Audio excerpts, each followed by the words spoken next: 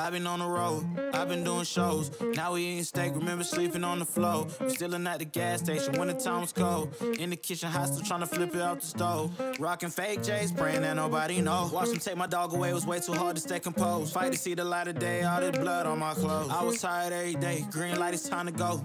I don't wanna live life fast or die too young. Die too young. 100 miles per hour, might crash, cause the good die young. Yeah, the good die young. Push it to the limit, I can't go no more.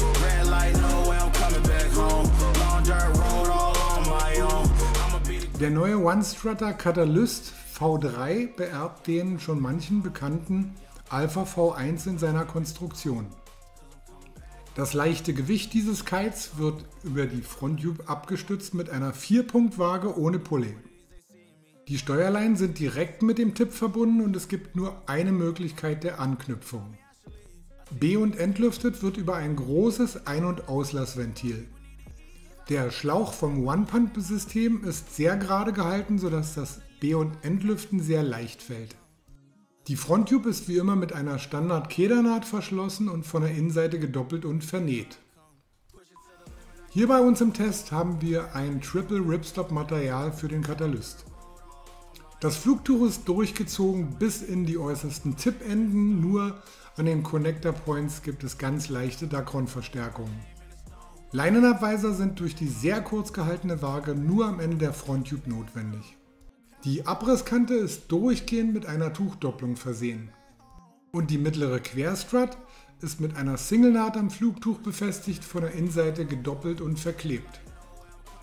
Die notwendigsten Bereiche fürs Abscheuern oder Aufschlagen sind mit Dacron verstärkt. Und eine Doppelung gibt es natürlich aus Dacron nochmal im Übergang der Fronttube zum Flugtuch.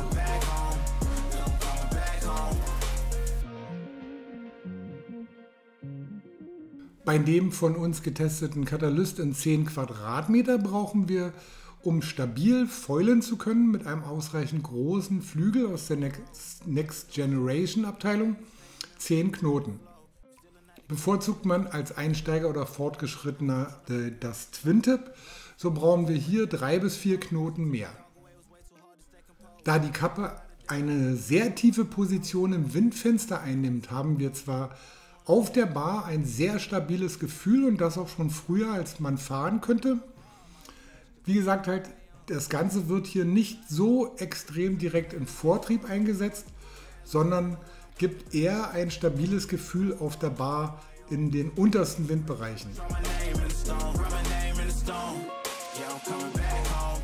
Das heißt, um die Gleitgrenze beim Vollen so weit wie möglich nach unten herunterzusetzen, braucht es langgezogene Startloops, damit das Ganze hier eine ausreichende Fluggeschwindigkeit, sprich auch einen ausreichenden Vortrieb generieren kann.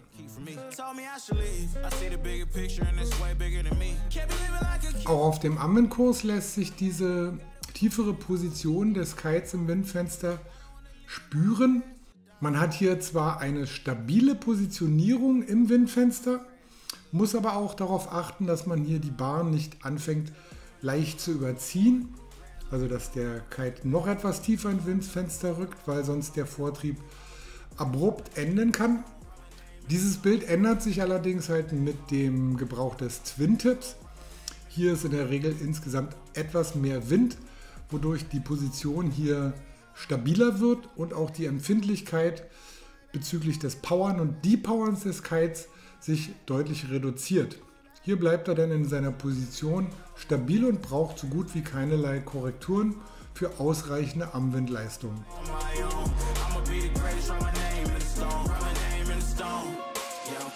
Die Aufhängung des Katalyst ohne Pulleys und die sehr breiten Tipps sorgen für ein direktes und präzises Lenkverhalten mit einer wirklich auch äh, unmittelbaren Reaktion auf den Lenkbefehl.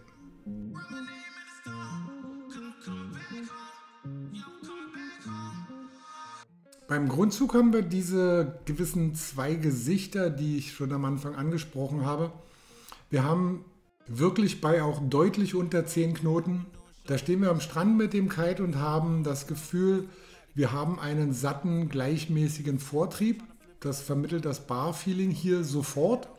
Allerdings ist der Grundzug, der hier gespürt wird, ein wenig täuschend in, in äh, Kombination mit dem dann daraus resultierenden Vortrieb, der sich erst bei einer deutlich höheren Anströmgeschwindigkeit am Kite ergibt.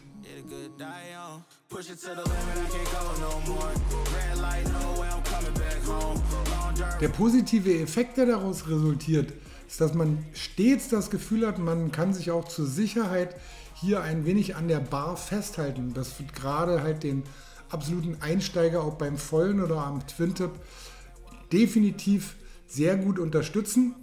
Und er muss halt auch nicht mit irgendwelchen Überraschungen rechnen, dass die Kappe jetzt irgendwelche äh, ruckartigen Bewegungen oder Vorwärtsdrang entwickelt, die den ähm, Lernenden sozusagen aus der Balance bringt.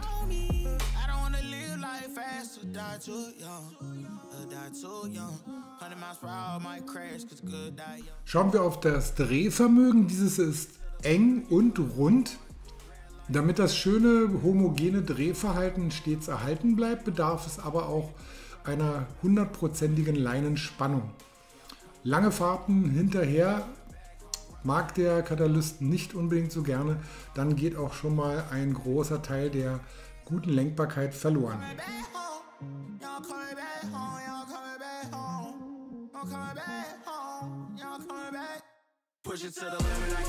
Das moderne Safety-System von Ozone löst bei 6 Kilo und einer Last von 120 Kilogramm aus und lässt sich auf die einfachste Art und Weise wieder montieren.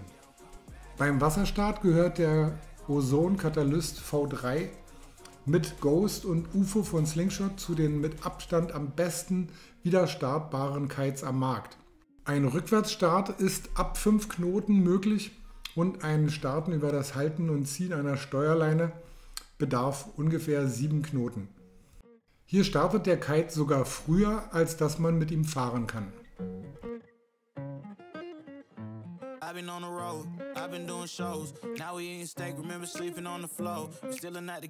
Schnell wird klar, dass bei so einem Kite-Konzept das Ganze hier natürlich nicht die absolute Sprungmaschine ist.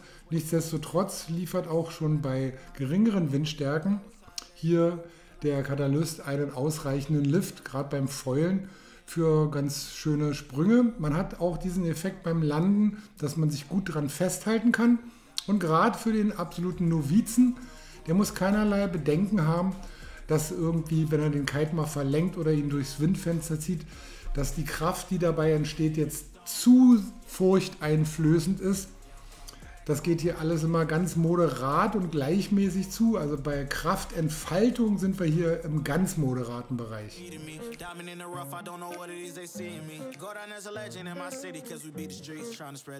Das Konzept des Ozon Katalyst V3 eignet sich besonders gut halt für Einsteiger, Fortgeschrittene, die einen maximal verlässlichen extrem flugstabilen Schirm suchen, der immer das Quäntchen Sicherheit bietet in Form von genug gefühltem Grundzug, der dafür sorgt, dass Fehler, die man macht, fast selbstständig ausgebügelt werden.